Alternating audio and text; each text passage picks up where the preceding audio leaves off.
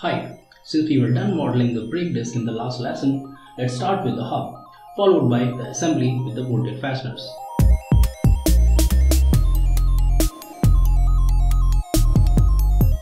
In this lesson, we are going to design the hub and then bolt it with the disc with toolbox fasteners to create an assembly. Since we do not know the precise dimensions of the hub, let's start with modeling it in the assembly environment. This will tell us how it will look like with reference to the disc. So, open the disk part you made in lesson 3 and create an assembly document from it. If you do not have the source file, you can get it from the course page on Udemy or from our Patreon page. The mind map however can be accessed using the link in the description. Now, when you create the assembly document from the disk part, the disk will be pre-positioned in the parts to be imported and the new assembly document will open. You can also see in the status bar that you are now in the assembly environment.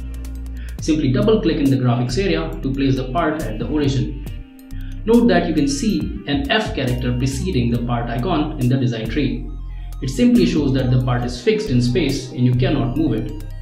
But the assembly primary planes do not coincide right now with the disk primary planes, which may increase some work in creating mates. It's always a good practice to center the main part of an assembly with the assembly origin. To do that, simply set the part to float by right clicking the part and selecting the option. Now you can freely move the part in space. Now control select the assembly front plane and the part front plane and select the coincident option from the shortcut menu. In this way you can quickly add mate even without bringing the mates property manager. Do the same for right and the top plane. Now again the part is fully defined and cannot be moved in the space which you can also confirm in the status bar. Now we are going to open a new part right inside the assembly environment and edit it here. To do that, go to the assembly command manager and select new part. Once you do that, SolidWorks will ask you to choose a plane on which to start the sketch, which will be the first sketch of the new part.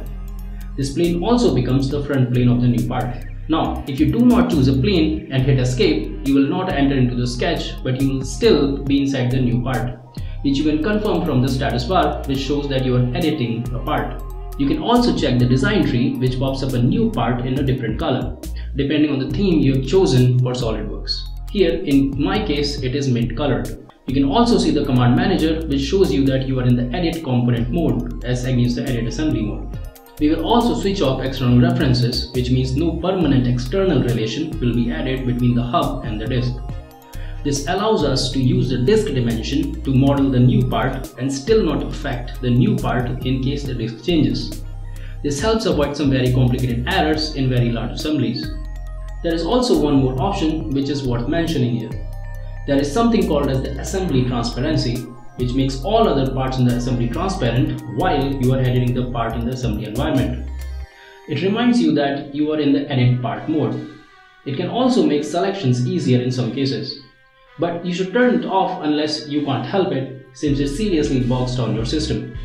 Now let's start a sketch and come normal to the sketch plane because it is far better to edit the sketch in that way. Also note that in most cases snapping will only work when you are normal to the sketch plane. Now simply choose the line tool and start drawing the shape which will generate the desired geometry keeping in mind that you are making a thin revolve.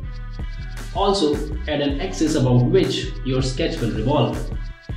Make sure you constrain all entities and fully define the sketch.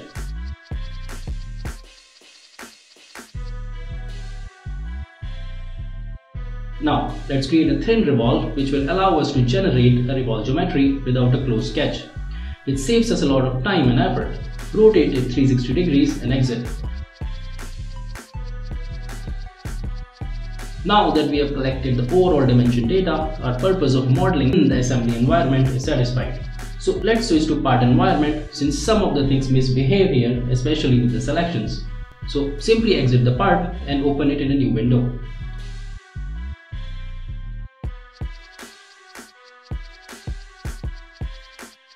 Now let's create the holes in the hub for it to connect to the wheel. Open a sketch on the plane and draw the construction line to help center the circle between the inside and the outside edge.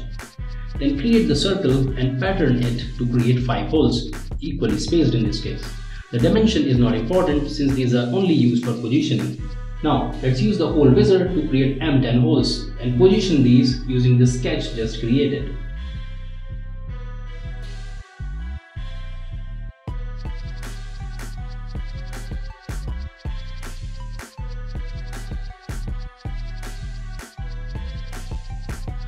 Let's create the holes to bolt the hub to the disk.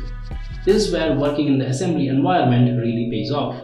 You might have noticed that we need to create the holes on the hub which matches exactly in size and position to the ones on the disk. This is where we use external referencing. By using this approach, the hole size and positions on the hub will adjust should these change on the disk. But we should only add external references if these are justified since unnecessary and redundant relation will only make it difficult troubleshoot any error should it arise. But first, we must align the disk with the hub as it would be practically. To do that, first off, remove the in-place mate, which gets created to constrain the new part once you start it in the assembly environment. Simply click on the part in the assembly mode, which will display its mates, and hit delete. Now the part is free to move in space. Now let's add a few mates to constrain the part. Now to add mates quickly, let's see a few shortcuts. You've already seen the control selecting method to add mates. Now, if the two entities are easily visible, press the Alt key on Windows and drag the first entity onto the second one. From here, you can select any type of mate. Check the lock rotation option if you want to do that. Now, you cannot select the part and use the control drag method since it would simply copy the part selected. Now let's use the coincident mate to constrain the axial movement. In this case, you cannot use the alt drag method because of the accessibility issue. So let's use the control select method. Select a round surface or edge or a temporary axis which gets created with any round entity. Choose coincident mate. You can also hit the change direction icon if the orientation doesn't seem right. Click and drag the hub to confirm if you have fully locked that. Now, simply use the holes present on the disk to create the new holes. There is a shortcut to adding the new holes and fasteners at the same time, called the hole series. But it does not work in all cases, so we will cover that later on. So let's open a sketch on the hub plane and come normal to it. Now, we could convert just the sketch for position and use a new hole wizard, but if we change the hole size on the disk, it will not update on the hub. So to do an intelligent design, let's convert the hole profile itself, which will be produced on the disk. Since the hole are hidden behind the hub, simply make it transparent by selecting the appropriate display style here. Make sure to switch on the external referencing, otherwise all of these extra efforts will go in vain. Go to the Convert Entities tool and select the disk holes one by one. I'm afraid there is no shortcut here. Hit the green tick and see the new circles appear. These are your profile for the holes. Hit the Extrude Cut tool and use the Through All condition. Ensure the desired results by coming normal to it. You can see a through aligned hole. Now that we are done creating both parts, Let's join them using fasteners.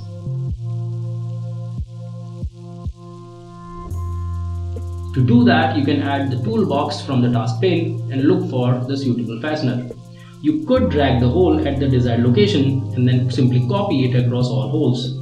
But there is a shortcut called Smart Fasteners which detect what size will be needed based on the hole selected and adds bolt, washer and nuts.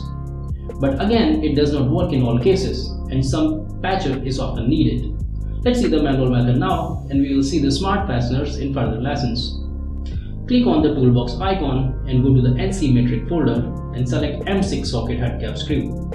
Drop it on the desired hole and it will predict what size might fit. You can change any parameter later on in the property manager. In this case, let's choose the length of the fastener to be 20 mm. After that, simply point where else you want to place the fastener. Now when the software displays the fastener mate, which is a combination of the concentric and coincident mate, simply click to place the fastener. By this technique, you can save time and effort which would have been wasted in creating two mates per fastener. Now, as you can see in the design tree, it is all crowded. So let's create a folder for these fasteners. So shift select the first and the last fastener to select all fasteners at once and right click to get the shortcut menu. When you hit the option create new folder, the software will add all the selected components to the new folder. You can now rename it to something which reflects the component inside.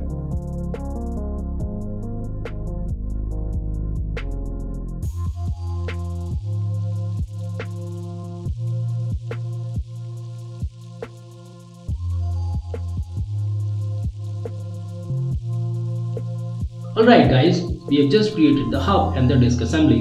In the next lesson, we will create the caliper and then the brake pedal assembly. So don't forget to join us on Facebook and YouTube and partner with us on Patreon to share our work and revenue. Have a good one. Thank